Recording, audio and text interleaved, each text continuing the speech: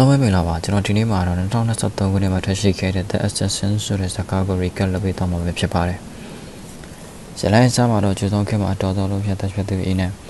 သူကပြိပကအလုပ်လုပ်ပေးတဲ့ဆိုတာဘယ်သူမှမသိပေမဲ့သူပြစ်မှတ်ထားတဲ့လူမှတညာကတော့တေချာပေါက်တင်ရမှာပဲဖြစ်ပါတယ်။တညာဖွဲတွေကတော့သူ့ဆိုရင်အကုန်ကြောက်ကြရပါတယ်။ဒီလိုနဲ့အချိန်ကြာမြင့်စွာခံစားနေရတဲ့ယောဂဟောင်းတစ်ခုကထားဖို့လက်သက်ဖြစ်အင်းနာကသမားတော်ကြီးရှိကိုတပ်ပြခဲ့ပါတယ်။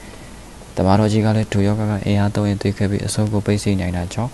ကိုယ်ခပညာသုံးရင်ခန္ဓာကိုယ်ကမခံနိုင်ပဲလူကိုပါသိစေနိုင်တဲ့အတွက်ကြောင့်အင်အားမသုံးဝိစေဖို့တမတော်ကြီးကအင်အားကိုမှာကြားလိုက်ပါတယ်ဒူယောဂတဲ့ဆေးကတော့မရှိပါဘူးမအောင်ချုံဆိုတဲ့ဆေးကိုမှီဝဲရင်ကုသနိုင်တယ်လို့ပြောကြပေမဲ့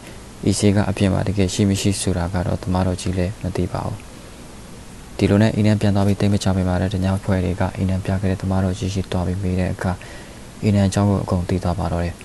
ဒီလိုနဲ့ညဖွဲ့တွေကလည်းအီနန်ကိုလှုပ်ချဖို့စတင်ပါတော့တယ်။အီနန်နဲ့သူ့ကြောင့်ကိုသူသိပြီးဒီတိုင်းဆက်နေရမှာဟန်တာကြောင့်ချင်းလင်းတောင်ကိုဆေးရှောင်ဖို့တွားခဲ့လိုက်ပါတယ်။ချင်းလင်းတောင်အရောက်ဘက်ခြံရွာလေးတရမှာတာမီနှစ်ယောက်ဖွင့်ထားတဲ့ထမင်းဆိုင်လေးတစ်ဆိုင်ရှိပါတယ်။ဒီနေ့မှာတော့အရာကလူနောက်တွေကထိုထမင်းရောက်တဲ့အတော်ကြီးကိုလက်ခွန်းလက်မှာနှောက်ယှက်နေတာကိုအီနန်ကမြင်ပြီးပထမကတော့မကူညီပဲကြော်တောင်းလို့လုပ်ပေးမယ်အတော်ကြီးကအကူညီတောင်းပြဖြစ်အီနန်ကပြဿနာကိုဖြေရှင်းပေးလိုက်တဲ့အတွက်အတော်ကြီးကသူ့ထမင်းဆိုင်မှာထမင်းလိုက်စားဖို့အီနန်ကိုဖိတ်ခေါ်လိုက်ပါတယ်။ အီလန်နဲ့ဆာမဆာရသေးတာအတွက်ကြပြီဖြစ်တဲ့အတွက်အတော်ကြီးရဲ့ဖိတ်ခေါ်မှုကိုမငြင်းမဲ့လိုက်သွားပါတော့တယ်။အတော်ကြီးကကြွေးတာကနည်းနည်းဆာမဆာရသေးတဲ့အီနန်ကစားတာသမျှဖြစ်တဲ့အတွက်ကြောင့်အတော်ကြီးကအီနန်ကိုကြွေးရတာနဲ့တောင်းထင်းခွဲစပွဲတို့လှုပ်ခိုင်းပါတော့တယ်။အီနန်လည်းမငြင်းမညွတ်အကုန်လုပ်ပေးခဲ့တာကြောင့်အတော်ကြီးလည်းသဘောကျပြီးနေကြမရှိရင်သူ့ဆိုင်မှာလာနေဖို့အီနန်ကိုပြောလိုက်ပါတယ်။အင်းလည်းပထမတော့တောချက်ရှိတဲ့ဆိုပြီးထွက်သွားခဲ့ပါတယ်။နောက်တော့နေစားမရှိတဲ့အင်းကအတော်ကြီးဆိုင်မှာပဲနေဖို့ဆုံးဖြတ်လိုက်ပါတယ်။ ဒီလိုနဲ့အိမ်ကအတော်ကြီးတို့တာမီနဲ့ဇညောင်းရင်နေလာရကနေတနေ့မှာတော့တညာနှစ်ယောက်ကအတော်ကြီးဆိုင်မှာထမင်းဆောင်ပြီးပစ္စမပေးပဲရည်တည်တည်လုံးနေရကနေအတော်ကြီးရဲ့သားကသူ့အဖေကိုတတ်တဲ့တညာတွေနဲ့ထူတယ်ဆိုပြီးသူ့မှာရှိတဲ့ဒါနဲ့ထူတညာကိုထိုးလိုက်ပါတယ်ထူတညာလည်းသူ့ကိုထိုးတဲ့အိုက်ကလေးရဲ့လက်တစ်ဖက်ကိုဖျက်ဖို့တခဲခဲလုံးနေချိန်မှာပဲ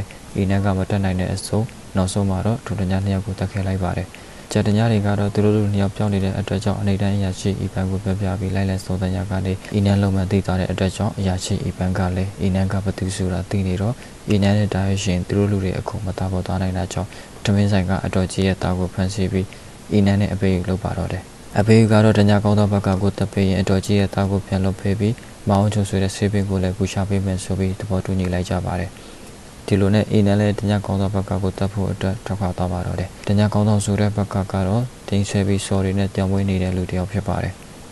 အင်းနကလည်းဘက်ကရှိတဲ့အရက်ကိုတားပြီးဘက်ကနဲ့ရှင်ပြိုင်တိုက်ခိုက်ရဲ့ဘက်ကကိုတက်လိုက်နိုင်ခဲ့ပါတယ်ဒီလိုနဲ့တောင်းပြီးသွားတဲ့အင်းနလည်းအီဗန်စီကိုပြန်လာခဲ့ပါတယ်ပြန်လာတဲ့လမ်းခုလက်မှာတညတွေကိုနောက်ခွဲကနေချိုးခိုင်းနေတဲ့အရာရှိအီဗန်ကအင်းနနဲ့အဖေယူကိုတစ္ဆာပေါက်ပြီးအင်းနကိုတက်ဖို့လှုပ်ချပါတော့တယ်အင်းနလည်းစာပိုက်ကတော့တိုက်ခိုက်နေပေမဲ့တယောက်နဲ့အညာယောဂခံလည်းရှိတော့အီဗန်ရဲ့ဖန်ဆီးခြင်းကိုခံရပါတော့တယ်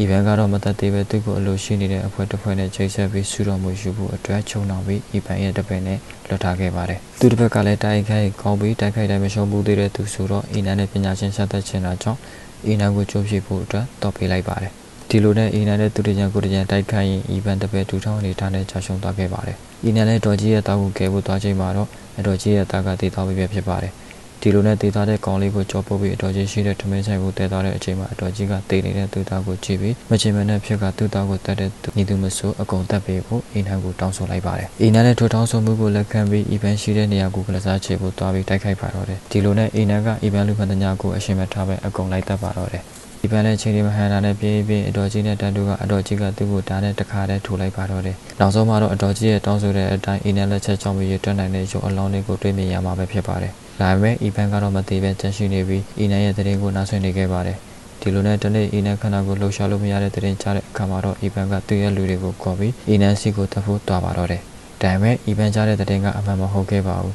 ။မောင်ချိုဆိုတဲ့ဆေးပင်ကိုရှာတွေ့ခဲ့တာကြောင့်အီနန်ယောဂကပြောင်းကင်းသွားပြီးအီဗန်လာမယ်ဆိုတာကြိုသိလို့အီနန်ကစောင့်နေရင်အီဗန်လည်းတွေ့ရောတခါတည်းအသေးတက်လိုက်ခဲ့ပါတယ်။နောက်ဆုံးမှာတော့အီနန်လည်းတော်ပြီးဆုံးသွားရင်ဇလန်လေးလည်းပြီးဆုံးသွားခဲ့ပါပြီ။အဆုံးထိကြည့်ရှုပေးတဲ့အတွက်အားလုံးကိုအထူးပင်ကြည့်ရှုတင်ရှိပါတယ်။